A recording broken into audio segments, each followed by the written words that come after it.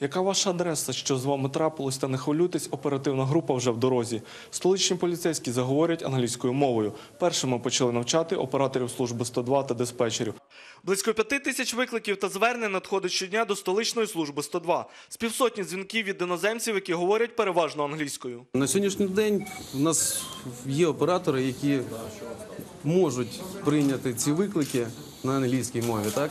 А є деякі, які, на жаль, не можуть. Да, і завдяки вам, я думаю, ми підтягнемо ці знання до належного рівня. Навчатимуть поліцейських у рамках проекту Capital English. Цей сервіс зробить е, також е, київську поліцію не тільки сучасною, якою вона є, а ще більш комунікабельною, е, яка відповідає міжнародним стандартам.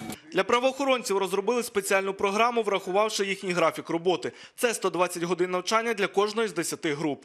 Вона є з врахуванням найкращих світових е, методик. Е, Вона була розроблена е, командою викладачів, методистів, а також нам допомагали радники канадські, які зараз працюють в поліції. Більшість правоохоронців, хоча й вивчали раніше англійську, проте давно і на загальному рівні. А тут же опановують спеціальну лексику. Вивчав у школі, вивчав у коледжі, вивчав в академії.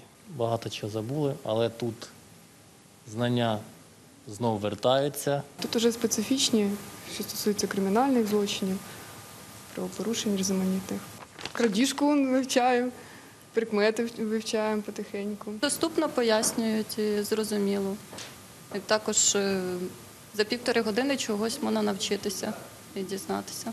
Аби поліцейські мали змогу вивчати англійську, столична влада залучила донорську допомогу британського посольства та міжнародних інституцій. Радий, що київська міліція іде в ногу з часом, використовує технології, стає сучасною і хотіла також е, подякувати громадським організаціям е, Capital English, яка дає можливість безкоштовного навчання як киянам, 6 тисяч киян пройшли це навчання, так і поліцейським. На першому етапі навчання пройдуть 200 працівників, які задіяні в службі 102. Це і оператори, оператори 102, і інспектори чергові, чергові, е, чергові е, міськрайвідділів. Е, Потім ми підключимо до цієї програми е, слідчо-оперативні групи, які виїжджають на місто.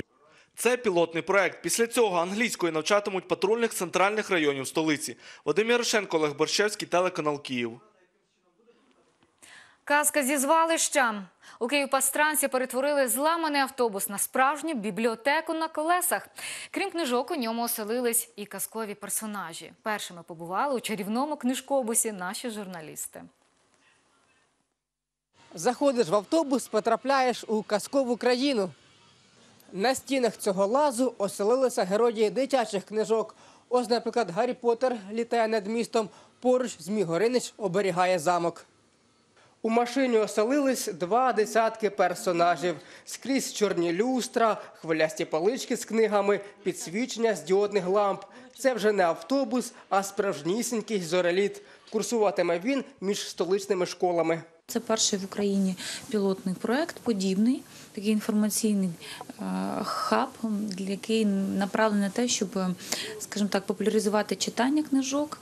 Е, Серед дітей протязі чотирьох днів в тиждень вони будуть переїжджати з школи до школи і проводити інформаційно розвиваючі заходи. Втілити проект допомогли спонсори. Вони придбають у бібліотеку на колесах планшети та інші гаджети. На полицях можна знайти книги і українських, і іноземних авторів. Книжки абсолютно різноманітні, різними мовами, е, направлені на різний ем, е, вік. Також м, екран мультимедійний, тут спеціальне освітлення, звукове забезпечення. Втім, ще влітку машина була при смерті. Кузов атакували пухлини іржі, суглоби коліс були зламані, а двигун пережив інфаркт. Реанімувати автомобіль взялися майстри станції техогляду. Курс лікування тривав півроку. Автобус э, сделали полностью с нуля, восстановили, сделали капитальный ремонт кузова, капитальный ремонт двигателя, поменяли в этом автобусе все по электрике полностью, все переделали. Машина капитально, ну просто новая машина. Уже на початку квітня книжкобус вирушить у перший рейс. У ньому не лише прививатимуть любов до читання, а й проводитимуть заняття для особистісного розвитку школярів. Богдан Буриненко, Тарас Мишак, телеканал Київ.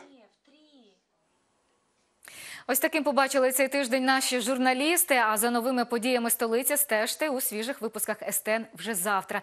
До речі, вас у цій студії буде зустрічати моя колега Лілія Гулей, наша нова ведуча. Тож я з вами прощаюсь. За тиждень побачимось. Бережіть себе і до зустрічі.